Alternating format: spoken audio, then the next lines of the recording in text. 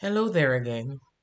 I want to make this pretty fast as a follow up or add on to that MPC, MPS, APC, APS video you should have viewed earlier. If you don't know what those acronyms mean, go review them. Here I want to talk about something called the multiplier effect. Now let me kind of explain it to you. I think of it as when you're throwing a rock across the river and it's kind of moving along in a ripple effect. It bounces really high first, and then it bounces again, and then it bounces again. But as it's moving across that pond or river where you skip that rock, it kind of slows down. When we inject any sort of uh, stimulus in the economy, it kind of moves the same way.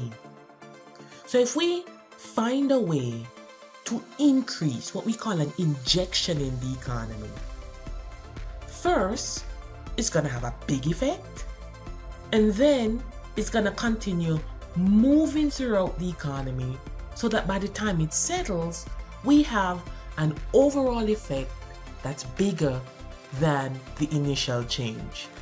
I'll give you a very simple example to kind of get you to wrap your mind around it. When I say we have an injection in the economy, I want you to think of the components of GDP.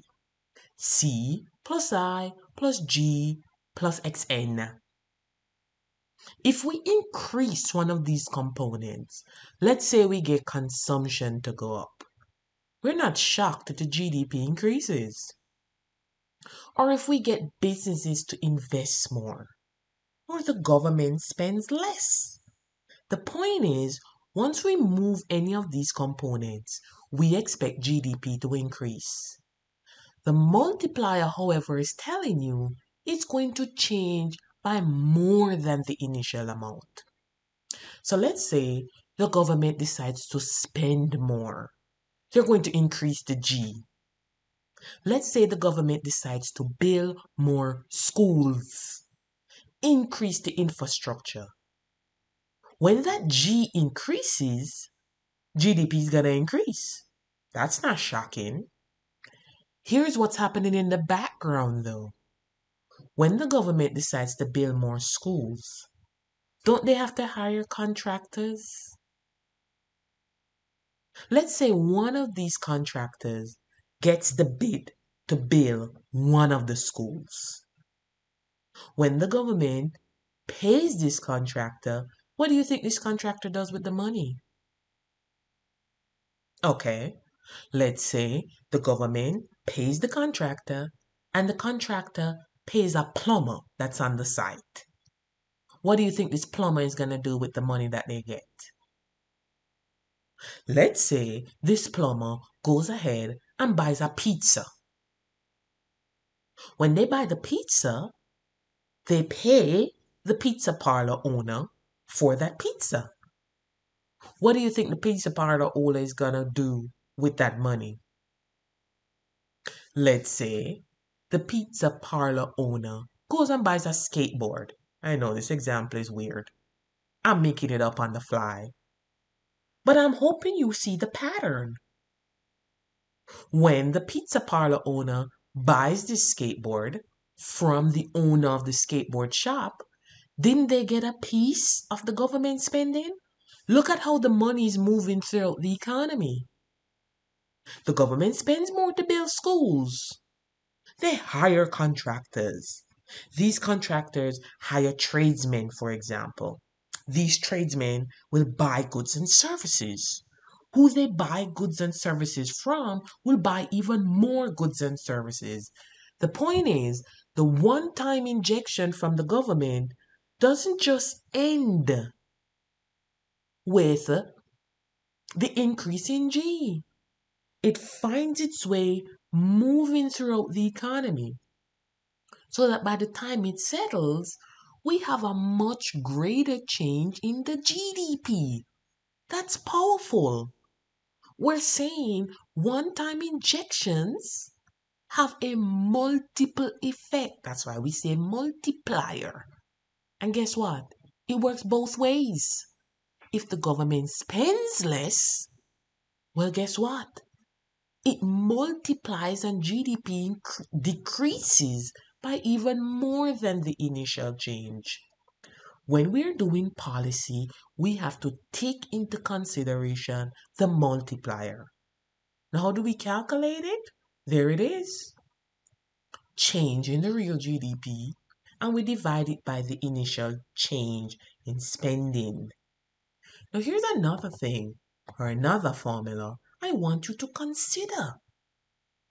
The multiplier is linked to the marginal propensity to consume and the marginal propensity to save. I'll show you. Let's go back to the example of the government increasing the G by building more schools. When they hire the contractor, suppose that contractor then pays the plumber. Now, let's say when the plumber gets his pay, he doesn't want to consume it. He doesn't buy anything with it. He takes that money and he saves it. What happens to the multiple effect if he doesn't consume? It's dampened. Because remember, initially he bought the skateboard and then the skateboard owner spent some of the money and it kept on moving throughout the economy. Well, if it is the case when when we change income, people choose not to spend it, the multiplier is gonna be smaller. If when we change income, people choose to save, the multiplier is smaller. This is why the multiplier is represented by 1 divided by the MPS. The bigger the amount of savings rather than consumption, the smaller the multiplier is. I give you income. If you choose to save it in this example, then it's not finding its way back into the economy. It's kind of a bit of a paradox, actually, because we're saying when people save more, the multiplier gets smaller. It doesn't find its way back into the economy.